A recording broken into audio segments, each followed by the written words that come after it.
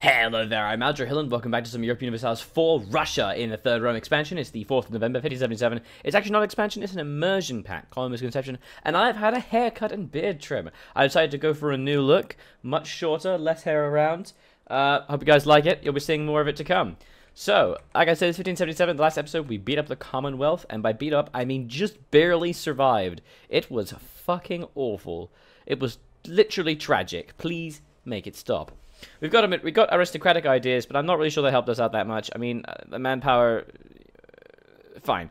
I think next military idea we get, because obviously we will be getting a military idea, I think something like quality or offensive. Perhaps offensive because obviously a better general would be delicious, and siege ability and discipline are always good. But quality would give me lots of infantry combat ability, an extra morale of navies, artillery, and extra discipline. A part of me kind of just wants to get defensive so I can get rid of this freaking attrition. Because land attrition minus 25% is really delicious, especially when you have a large number of soldiers like I do. But we'll see that in the future.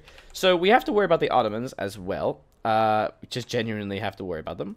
We are allied to nobody. We have a lot of little vassals, and we are very slowly annexing them. We're annexing Crimea right now to get a lot of extra delicious cores. We have the Timurids. Uh, the next war we need to fight is against the Persians to return more cores to the Timurids. Now, I'm pretty scared about this, but I think we can just do it without really much influence. Although my lack of manpower is very unpleasant. So where is, what is Persia's troop count?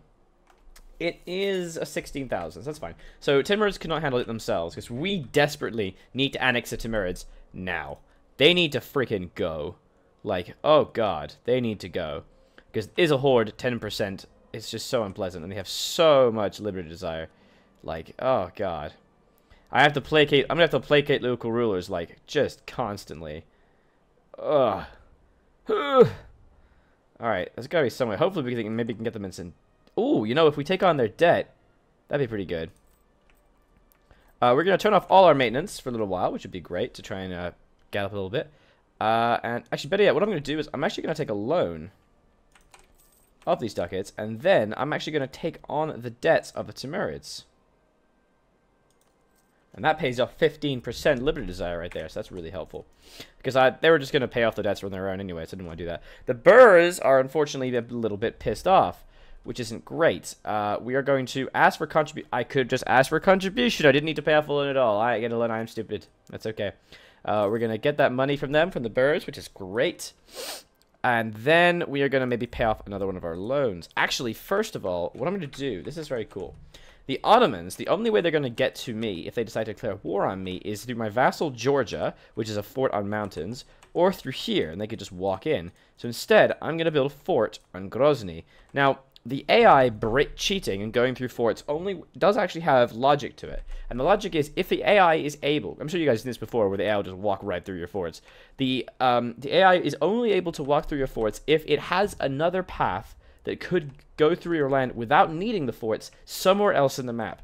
If, if it were theoretically possible for the Ottomans to go around all these countries and go here and go through my land, then it would be able to walk directly through any forts it wanted to get to that point. Because it's bullshit. But there is no other way for them to get around. They're surrounded by enemies. This is the only entrance, except for any crappy naval invasions, which we can deal with in its own. So I'm able to fort in Grozny, which will stop them, force them to siege down Grozny, and I can hit them in the mountains just in case, because we are not going to be fighting any Ottomans for a while. Now, um, yeah, we're going to need to try and get our armed forces over there ready to fight the Timurid, not the Timurids, but the Persians. So let's get our forces that way. We're going to send half. Let's just hope this goes okay. Now, we are going to have to take away some of the, um, some of these doodles. All right, where's the states? States. My nose is so itchy. I'm so sorry, guys. Oh, there we go. Okay. Um, I don't know why. Sometimes recently my nose has been so itchy. Where's the states? I'm sure I've gone right past it. State, state, states, buildings, trade development, players, rivals, federations, coalition, opinion, blah, blah, blah. state edicts, metropol uh, states. There we go. God damn, I always call them states. Okay, clergy, boyars. So we need to remove a couple provinces from the boyars because they're going to rebel. And the next one doesn't go away for like a million years.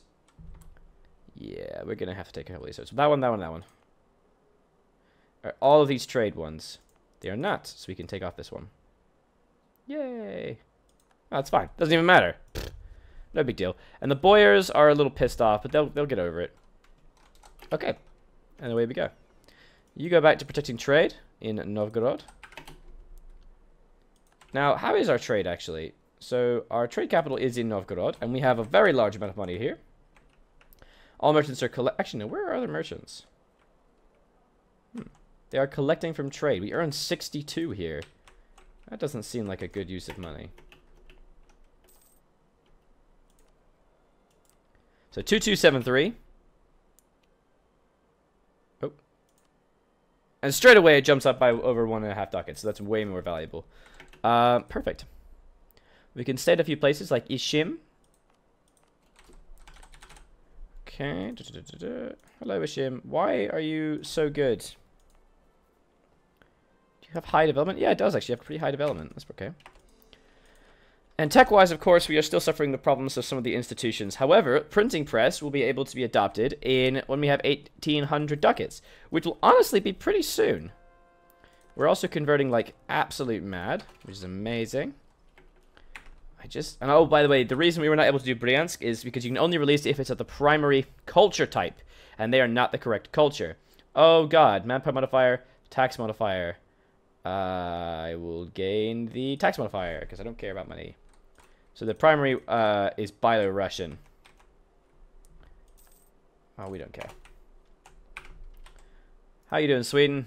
You suck? Of course you do. Hey, we can declare war on Sweden independently now. Of course, not until 1584, but that's fine. Alright. Obviously, we're going to be spending quite a long time now just kind of getting back some of our manpower. But we can also spend some time getting some cash together. We're going to need to beat up the Timurids uh, re rebels, but we're also then going to need to beat up Persia. And then once we've done that, we can start to really blossom. National Unrest Advisor with an admin focus, which is weird because we have influence ideas. Hmm. Although, to be honest, we don't even need to focus in uh, diplomatic, because we're going to get that eventually. It's not really that super important. I basically only need the vassals to help conquering things, make it a bit easier. So I don't actually care about it. I guess admin tech focus is probably a good idea, considering I would like to get up to the next to tech 18 so I can get the next idea group and get a bit more militarily strong. Okie dokie. We're building up those ducats. Holland's in a golden era. We gain a core province. Grant export licenses. Commonwealth will like us more, but we'll lose legitimacy. We'll gain tax modifier for 20 years. We actually desperately need legitimacy because my king is not a legitimate king. No, he is not. Sorry. That helps out. Uh, we do have some rebel risk, but that's okay. I'm going to start to pay off some loans, which is great. I'm going to boost stability. Obviously, the Streltsy is really increasing that cost, which is unfortunate, but... Ottomans no longer considers Russia a rival.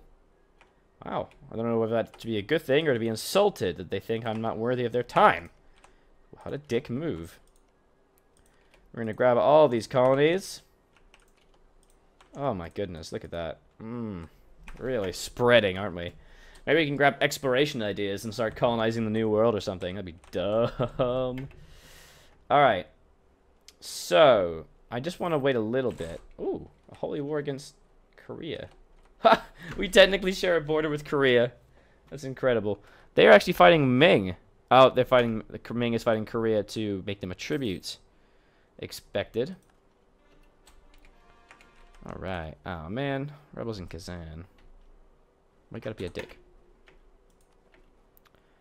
Um, okay, so I think I do want to just invade Persia right now and just try and spread this around a little bit. Hello. Hi, Commonwealth. I'm gonna kill you again in about six years' time. The war with the Commonwealth will be definitely very interesting. I mean, we're gonna have to fight it much smarter than we did last time. much smarter. We need to keep all our forces in like one centric area, otherwise I will die and be very sad.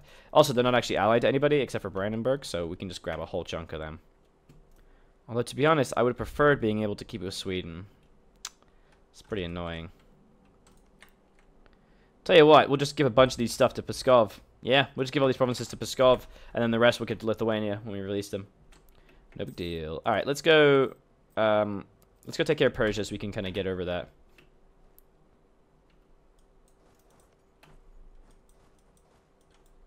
Uh, no.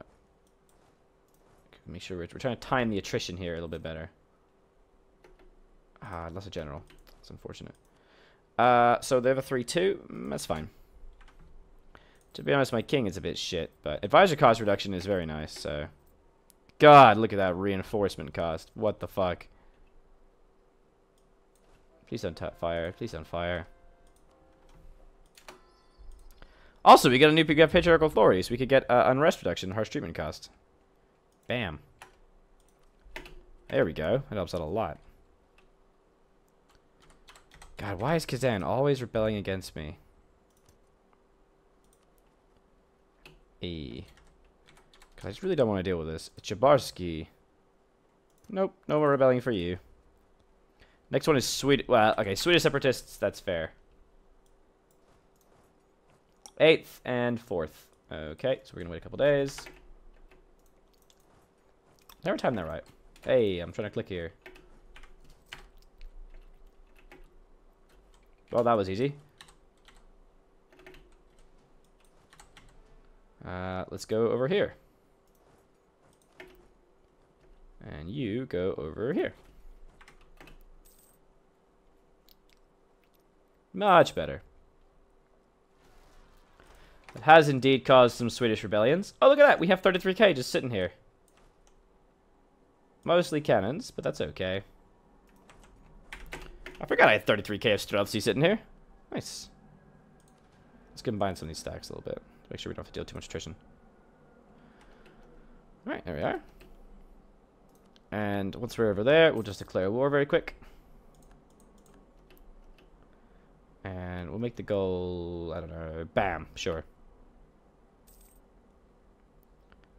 Surprisingly, we're actually doing okay with our attrition. And away we go. Didn't call anyone else in, did they? No, no one cares. Good, because no one cares about them, basically.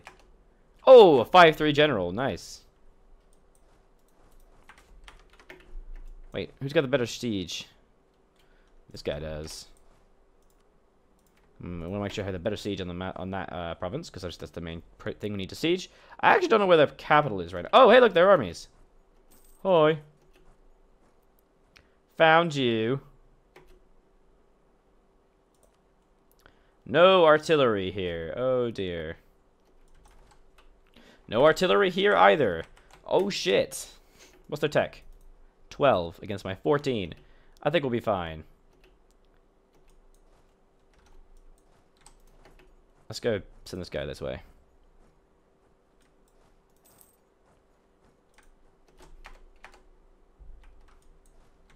Alright, let's do it this way. We'll send some dudes. Have some fun. Have a little party here and there. Wreck some face. Kill some butts. You know how it is. We'll have a good time. Oh, they're going to go right there. That's unfortunate. Is that their capital? What is this? That is a dick move, buddy. Dick move. Quite frankly. Well, I guess we'll just stand there and siege them down, because they're just going to hide on that island then. Okay, uh, then... Oh my god, what are you doing? What the fuck are you doing? Why would you attack them? Rostov, why? What is the thinking here? What is the strategy?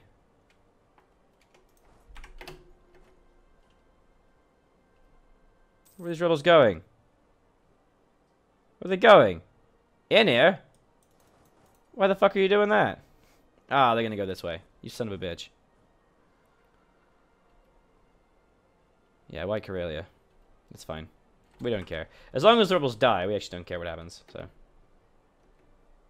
Ah, I took the general away. Wrong choice, Hill. Wrong choice. But you made your bed.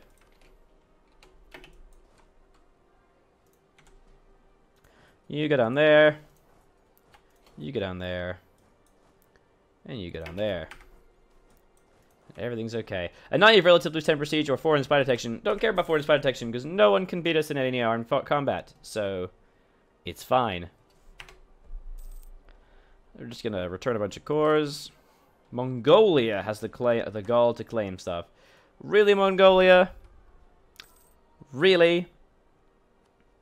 Is that what you want to do, my friend? I don't think it is. I just don't think it is. Oh, we lost a bunch of claims. That's unfortunate.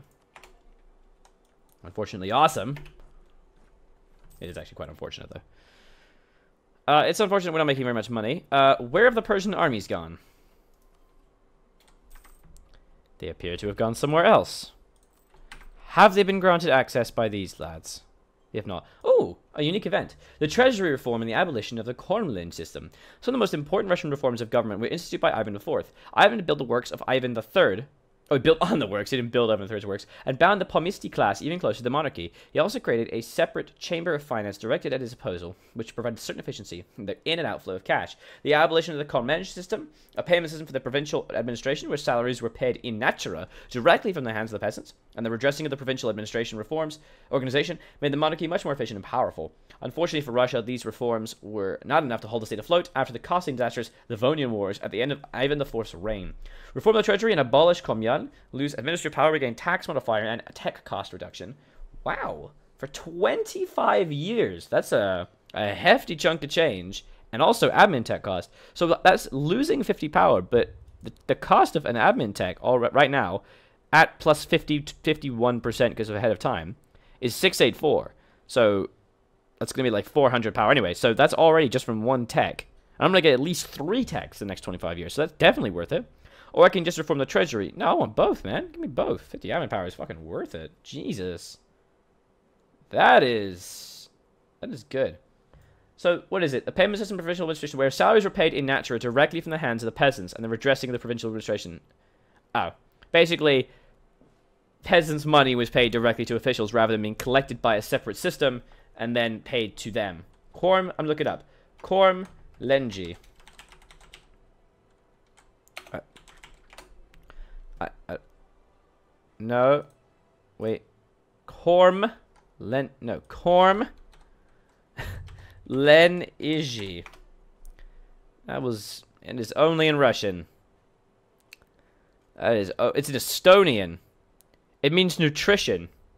A system introduced in the Middle Ages which the maintenance of the prince and the congregation lasted on the soldiers of the local population. The term was used and used on the basis of a survey of British sociologists by local people and some historians describing corruption in the USSR and Russia.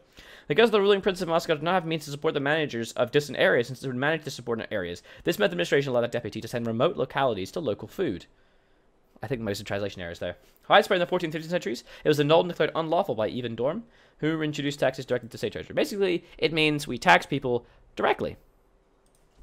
I mean, that makes sense, right? I should learn more about the Russian... Yeah, Ivan the Terrible was the guy who was ruling around this time. He died in 1584. Yeah, we're going to do both, man. That's awesome. Oh, there's the capital. We should definitely make sure we're sieging the capital. I still don't know where their armies are. I don't care. Siege, siege, siege. Siege, siege, siege, siege, siege. A yearly prestige and chance of a new heir. Love it. Thankfully, leg legitimacy goes up really high because of Russian ambition, so every year 2.19.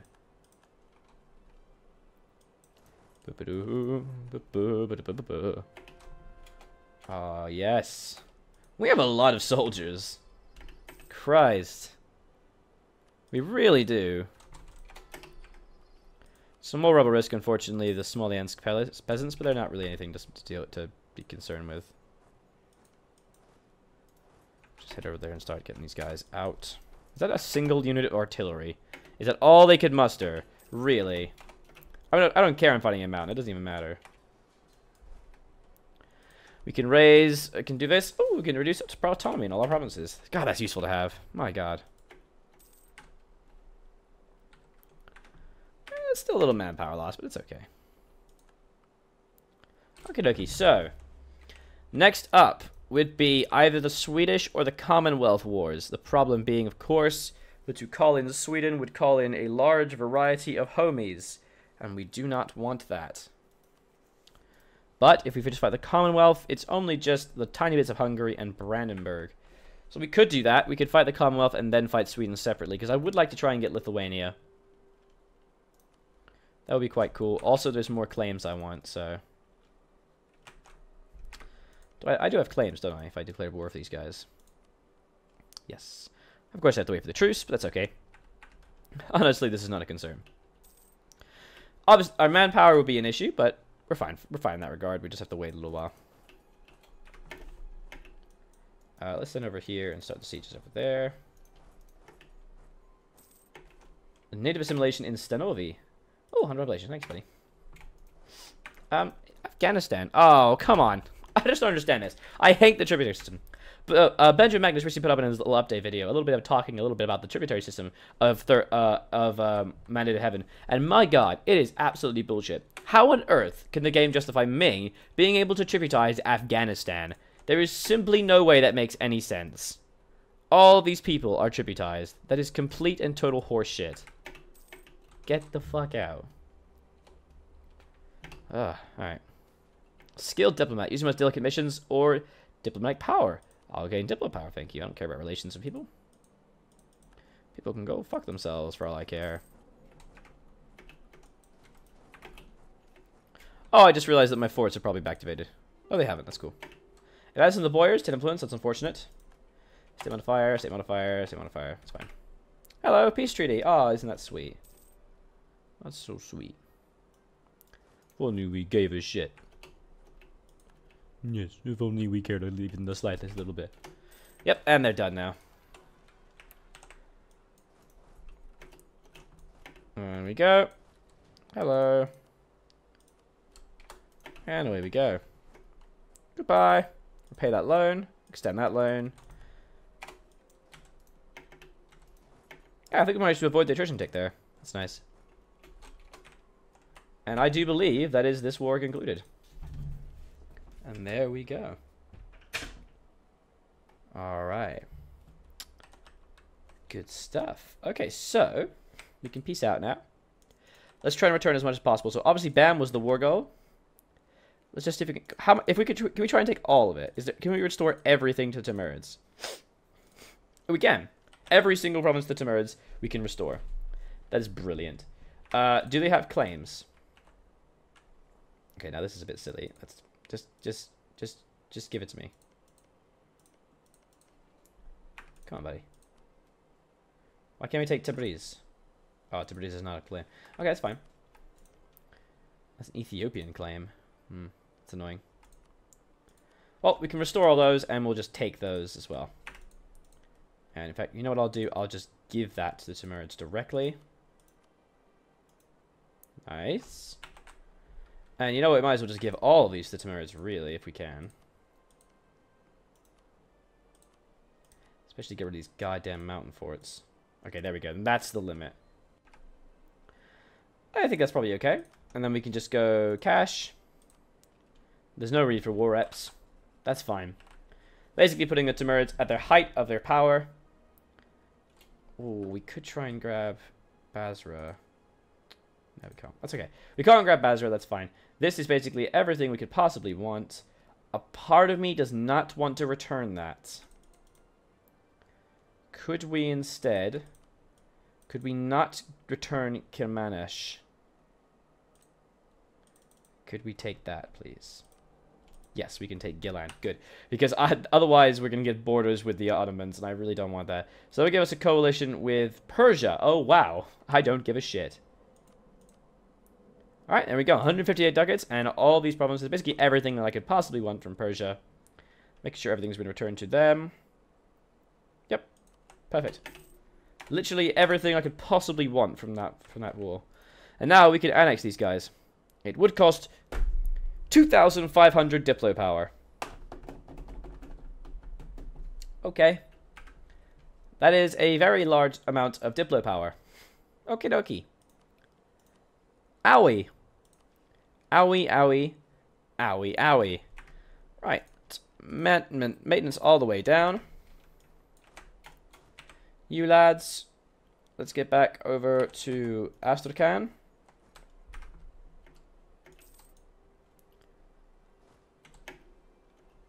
You guys.